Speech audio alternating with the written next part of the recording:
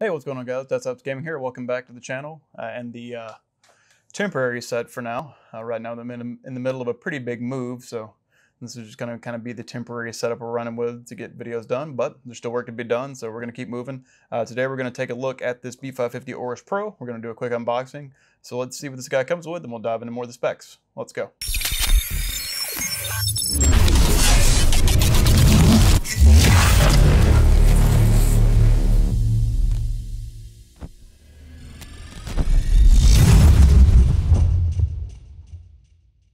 Let's go ahead and dive on into it. Uh, like you can see on the box here, this guy is already third gen AMD Ryzen desktop ready.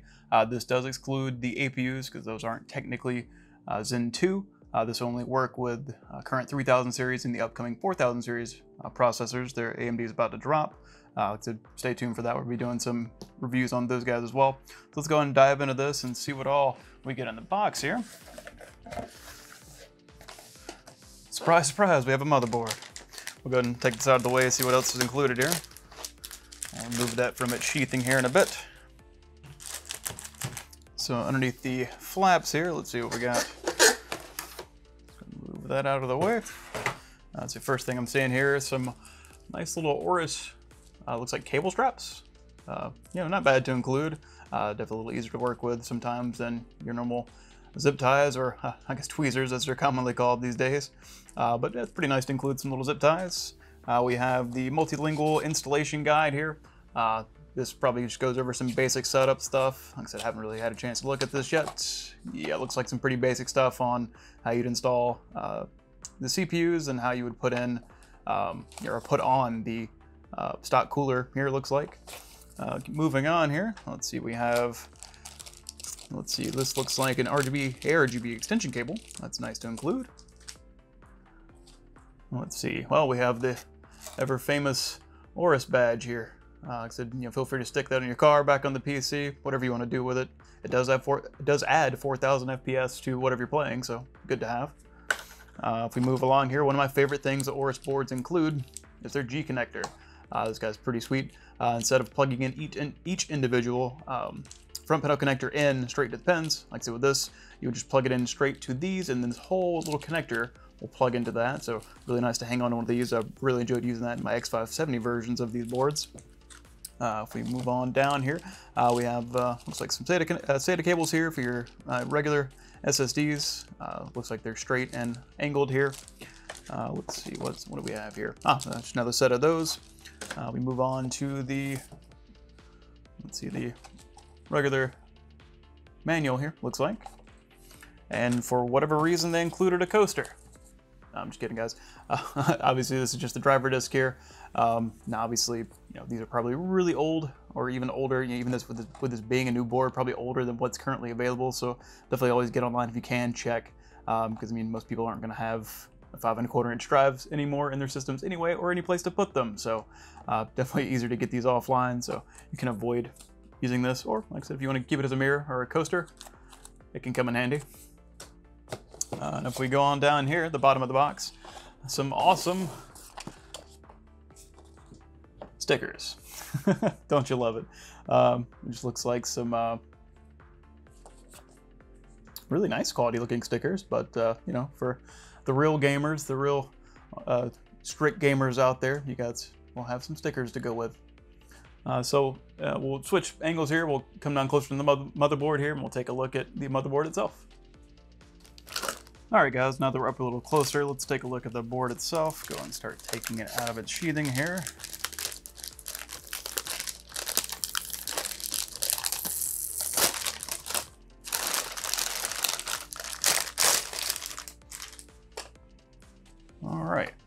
Like I said, this is more of an overview than a review itself. We will be using this guy in a build here soon. Uh, so like I said, we will be coming back to this one and taking a look more. We just wanted to do an overview of everything that's included on the board today. Uh, looks like we have one more piece of plastic to take care of here, so let's go ahead and get rid of that.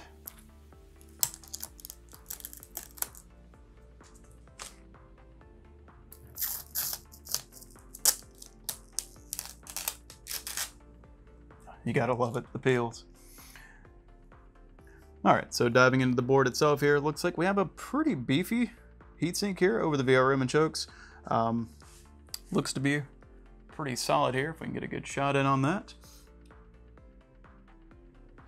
Like I said, I'll have to double check and I'll add uh, kind of toward the bottom here uh, what the um, actual power stages of these were. Like I said, you know, this is just a first kind of overview, uh, first unboxing of it. Like I said, I haven't really even taken a look at this board yet. Just got it in. Uh, like I said, I'm using it in a build here in the future. I uh, just want to do a quick overview of what's included on the board, and then we'll uh, touch on more of the uh, big specs, like so once we actually do a build with it. So stay tuned for that. We will have that build coming up very soon. Uh, planning this one kind of around either a monochrome or an all-white build. So uh, you guys let me know what you'd rather see. Uh, so moving around, like I said, the side of the board itself, I'm gonna lay this down here. like so we have our 24 pin power connector here. looks like we actually have three PWM connectors right here. Uh, let's see, looks like we actually have this, uh, yeah, they're all system fan. So you have three system fan plugs right here on the side. That's actually a pretty convenient spot too. Uh, if we keep moving down the side here, looks like we have a thermocouple. Uh, then you may have what looks like six regular SATA ports right here. And if we move along down the bottom of the board, it's starting from this angle here, uh, looks like we have our regular um, front panel connectors right here. Uh, there is a clear CMOS right below or right above that. Uh, on the, let's see, what looks like the bottom there, you have your TPM connector. Uh, then we have a USB 3. Uh, looks like there's just one on the bottom of this one. Uh, if we keep coming along here, uh, looks like we have two more connectors. Uh, one is designated a pump and another one a system fan. But like I said, as you guys probably know with Aorus boards, one of the favorite things that we like about them is they're all you know pretty customizable. Like I said, you can actually designate each uh, PWM connector to you know whatever you want to use it for. Uh, so you know something uh, a feature we really like, uh, something we like to see added on to other boards as well. Uh, if we keep going along the bottom here, looks we have two USB 2 ports. Uh, like I said, some cases still use these, or for you know your lighting controls, different AIOs will still take advantage of these, like the Corsair Suite. Um, if we keep going along here, looks like we have a 4-pin RGB connector and 3-pin ARGB connector. So you can power both different things there. Uh, we have the front panel HD audio right here. Uh, like I said, the audio codec, like I said, again, I'll have to do a little more research on. Like I said, this is just a first overview, first unboxing. Like I said, I'm not really sure which audio codec they're using here. Like I said, we'll touch on that once we get into the main review. Now, if we come back along the top of the board here, then we'll touch on the, the, the rear I.O. Uh, looks like crammed in here, there's another let me tilt it where you can see it. Uh, there's another uh, 4-pin RGB connector, just regular RGB connector here.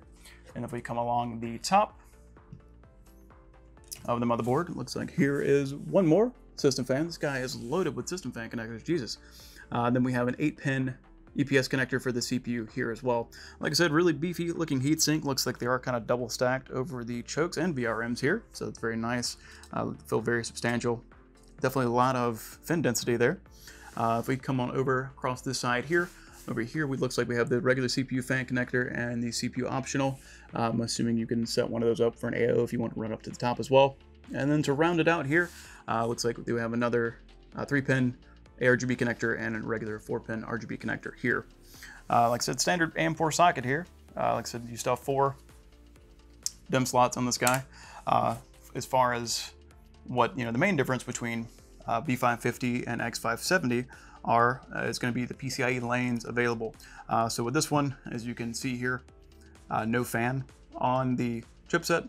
Uh, this, you know, since this guy is not doing any of the PCIe Gen 4 work, uh, like I said, this is, you know, no, not really needed for this because it's a, a, lot lower wattage than the X570 version because the X570 is 11 watts and needs that fan to cool it there. So this one can be passively cooled. So uh, you know, some will take that as a plus because it's not a moving part you have to worry about or a louder fan uh, you have to worry about. Like I said, with standard AM4 mounting brackets already installed here uh, with the AM4 socket. Uh, moving on down here, looks like we have two M.2 slots here. Like I said, the first slot here uh, for the PCIe, uh, actually where you would put your graphics card. This one has the metal sheathing over it. Like I said, for this one, this is the only one that's going to be the Gen 4 slot.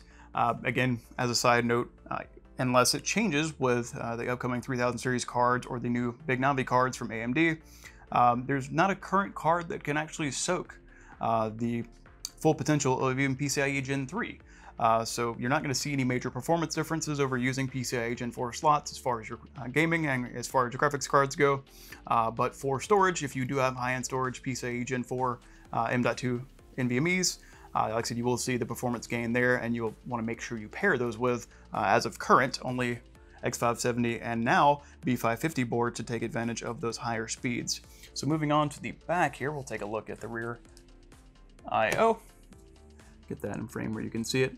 Uh, looks like we have here, yeah, like I said, four USBs up top here.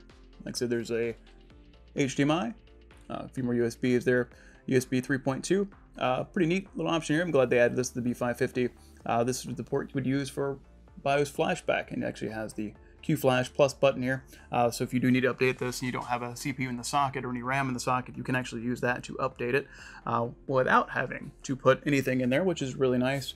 Moving on down here, we have more USB 3.2s, uh, one being a Type-C, and then some regular Type-A ports. Uh, and this one actually uses uh, 2.5 gigabit LAN, uh, which is actually really cool to see on a B550 board in this price range, uh, a little step above the regular gigabit LAN that's kind of become the standard now. Now, of course, we could, you know, ask for a 5 gigabit or 10 gigabit LAN, but I think for a B550 board, 2.5 gigabit LAN is pretty solid. And then moving on down to the end here, pretty solid uh, audio connections here.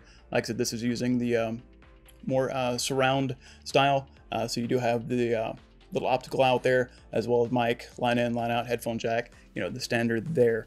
Uh, so if we want to kind of look at it more of an overview here, like I said, we'll post the actual list pricing here. I will go and put that in right here uh, of what this board is. Like I said, this is more of just an overview. We're going to do a full deep dive into uh, this board once we actually start building with it. Like I said, have a build plan with that. So again, subscribe, uh, stay tuned for that. Uh, if you guys want to see us use uh, this board here, just want to do an overview of it today. And if you guys have any questions, feel free to drop them down in the comments below. Uh, like I said, we'll discuss more there. And like I said, we'll take some some build ideas from you guys too. If you guys have a certain build you want to see it in, like I said before, kind of planning uh, to go for more of an all white or maybe monochrome build. This one's more black and gray. It's got some slight silver accents uh, here, but like I said, more of either a white and black build or just kind of keep it monochrome. Uh, like I said, I tend to like builds like that as much fun as it is to have with RGB stuff on the market now. Like I said, we just uh, really like doing kind of more monochrome based build with subtle lighting uh, versus anything else. But like I said, that's been our overview of this B550 uh, Aorus Pro from uh, Gigabyte here. Like I said, again, if you guys do have questions about the board, feel free to drop them down below. Uh, again, we are on Instagram as well, uh, so if you guys are ever curious of what these full builds turn out like, uh, like I said, we will do some montage of them here. Uh, but we do have an Instagram. It's over at Desktops Gaming. So again, check it out there. We'll post all of our completed builds there. Uh, so if you guys again just want to give us a follow there as well, uh, we're you know new on YouTube here, so we're trying to build this back up. Again, I guys hope you like the uh, kind of temporary set for now. Like I said, we are planning a pretty big move here soon, so I just kind of had to set up something temporary where we could still get some work done and you know be able to do our pictures that we normally do for Instagram of all these different uh, new components coming out. Uh, we will be going over the new um, 3000 series cards when those release as well. Uh, plan on getting our hands on a couple of those to do some tests for you guys. Uh, and this one will include some benchmarks as well, like I said, for the build we did with this one. So again, stay tuned. Uh, give us a follow over on Instagram as well. I appreciate you guys for stopping by. Take it easy.